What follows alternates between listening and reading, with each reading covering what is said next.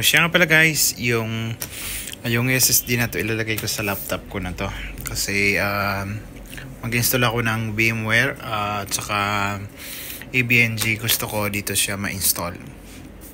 Uh, yung source file niya. O uh, para malaking storage. Kasi 1 terabyte to gusto ko maging 2 terabyte i-maximize ko.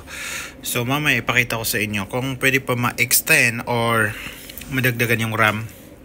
So dadagdagan ko later so yan na guys. Tanggalin na natin.